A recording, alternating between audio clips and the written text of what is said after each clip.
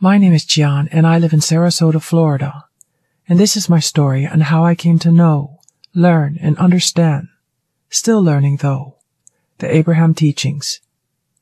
It all started when I had a desire to win the lottery. I won the lottery when I was 19 years old and living in New Jersey. I'm now 22 years old and living in Sarasota, Florida. I first learned about the law of attraction when I was 18 and a half years old through The Secret.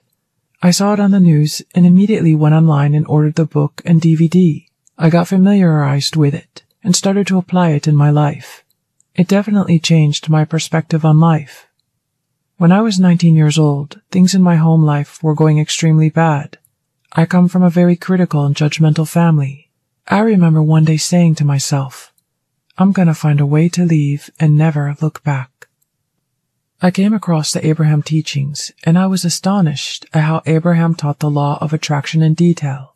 I came to have a broader understanding of the law of attraction through the Abraham teachings. The things I felt were left out Abraham explained in detail. That's when my life started to really change. I still was yearning to leave my home, but didn't have the financial means to do it. I started buying Mega Millions tickets, but to no avail. I bought Mega Millions tickets for about five months and tried to align with it, but nothing happened. I remember thinking to myself that it would be easier if I played the New Jersey Pick 6 Lotto, since not so many people were gunning for the same jackpot since it's only a one state lottery and not a 12 state lottery like Mega Millions. So I started buying Pick 6 tickets every week, but to no avail. When I started buying Pick 6 Lotto tickets, I had a dream where I was handed a ticket that had the word winner printed on it. I woke up and had this indescribable determination to win.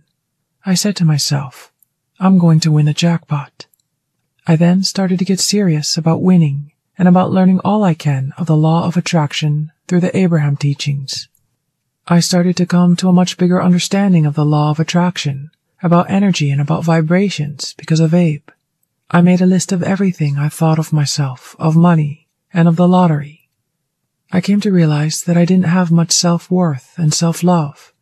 My first priority was to love and accept myself and to feel deserving of everything this physical experience had to offer.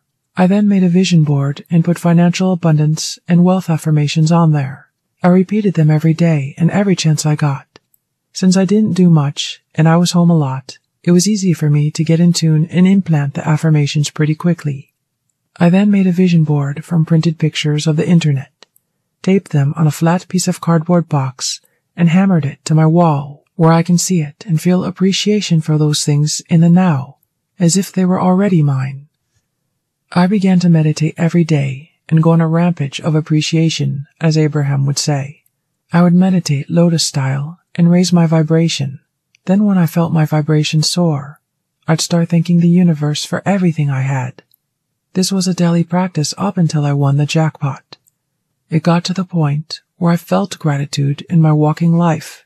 For every hair on my body, it was amazing how I actually felt gratitude for every little thing in my life. At this point, my self-confidence, my appreciation, and my self-love have soared to unbelievable heights. I remember feeling like I was on top of the world. I felt so good even for the negative people that were in my life at that time. It just didn't seem to affect me anymore. I started making more money through the job I had at the time, and everything seemed to be going well. At this point, I still had the burning desire to win millions of dollars and never stopped playing the lottery twice a week even though I felt content where I was. I kept saying, feeling, and believing the affirmations. I kept visualizing and feeling appreciation for the things I had with my vision board, and I continued to meditate and go on rampages of appreciation all up to the day I won the jackpot.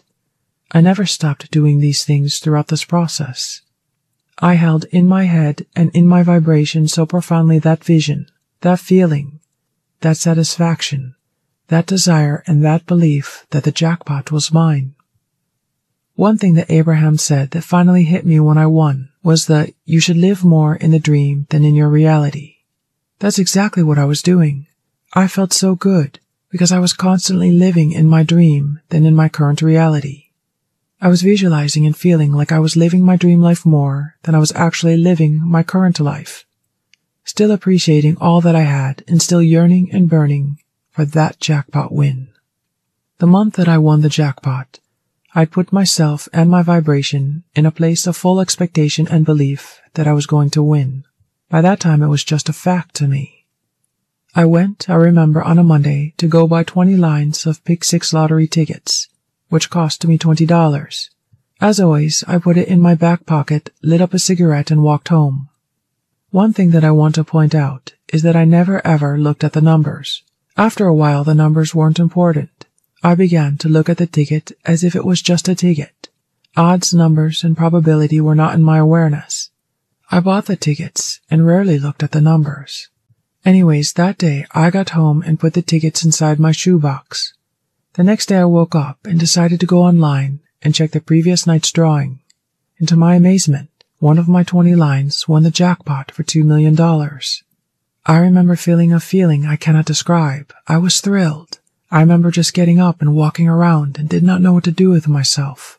I had no relationship with my mother, whom I lived with, or with any of my other family members. A week later, I took a cab to the lottery headquarters and validated my ticket. The lottery officials were sort of surprised to see this rugged 19 year old validating a $2 million ticket alone. But I signed all the paperwork and I was done. I won $2 million which left me with $1 million after taking the lump sum, which then left me with $850,000 after federal taxes. I went back home and waited a month to move out, not before I somewhat reconciled things with my mother. I own a beautiful condo here in Sarasota, and I own a successful business with a few partners here as well. Thanks to some wise investments, I currently have much more than what I won. I'm currently going to college part-time and will get my bachelor's in psychology next June.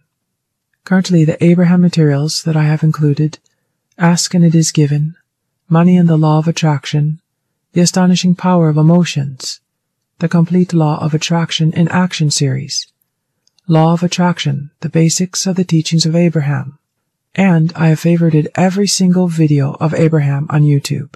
Abraham Hicks changed my life forever. I don't know where I would be if I didn't pick up Ask and It Is Given. For that I'm grateful and hold Abraham, Esther, and Jerry Hicks close to my heart. I'm glad I found this forum and hope to learn and expand with you all. May peace and abundance be with you all.